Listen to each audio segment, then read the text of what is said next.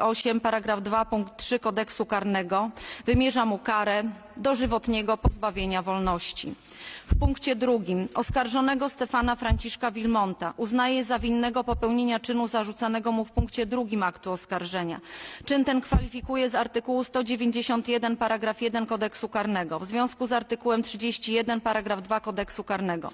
W związku z artykułem 64 paragraf 1 kodeksu karnego. I za to na podstawie artykułu 191 paragraf 1 kodeksu karnego wymierza mu karę dwóch lat pozbawienia wolności.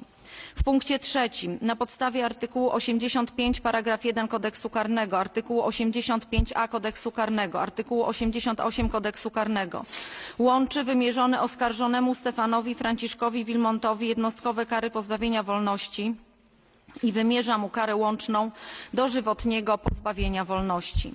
W punkcie czwartym na podstawie artykułu 77 paragraf 2 kodeksu karnego zastrzega, że warunkowe zwolnienie oskarżonego nie może nastąpić wcześniej niż po odbyciu przez niego co najmniej 40 lat orzeczonej kary pozbawienia wolności.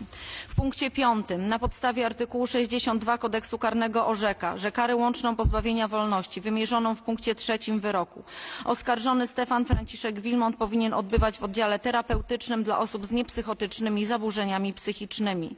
W punkcie szóstym na podstawie artykułu 40 paragraf 1 kodeksu karnego, paragraf 2 punkt 1 kodeksu karnego, artykułu 43 paragraf 1 kodeksu karnego orzeka wobec oskarżonego Stefana Franciszka Wilmonta środek karny w postaci pozbawienia praw publicznych na okres 10 lat. W punkcie siódmym na podstawie artykułu 46 paragraf 1 kodeksu karnego orzeka od oskarżonego Stefana Franciszka Wilmonta na rzecz pokrzywdzonego Andrzeja Stawickiego kwotę 10 tysięcy złotych tytułem zadośćuczynienia za doznaną krzywdę.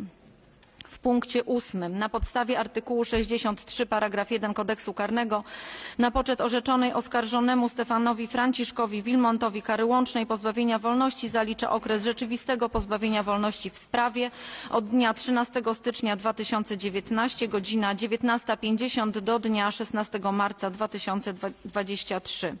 I w punkcie dziewiątym ostatnim na podstawie artykułu 626 paragraf 1 KPK, artykułu 624 paragraf 1 KPK zwalnia oskarżonego w całości od kosztów sądowych.